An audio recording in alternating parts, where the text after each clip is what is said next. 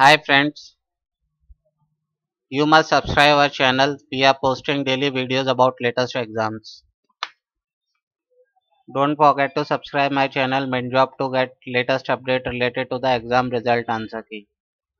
Today I am telling you BSTC 2019 result pre pre result date.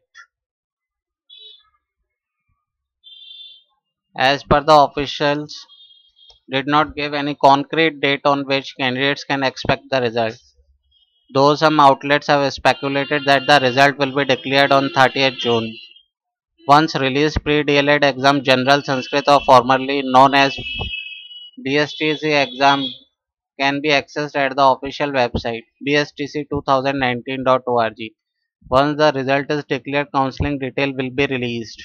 In 2018, BST result was declared on 6 June. However, the overall exam process also had begun much earlier last year. The Rajasthan pre-D.El.Ed examination 2019 was conducted on May 26 from 2 pm to 5 pm. Candidate who clear the examination will be able to apply for D.El.Ed courses offered various institutes in Rajasthan. Candidate must have cleared higher secondary examination are eligible to apply for this course.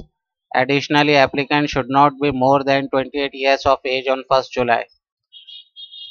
1st July 2019. So guys, I will provide you the information as soon as available. You will be the first one to know. Please subscribe my channel to get the latest update related to the BSTC exams. If you have any query, any information, please share in the comments. Thanks for watching my videos. Stay updated. Stay tuned. Thank you.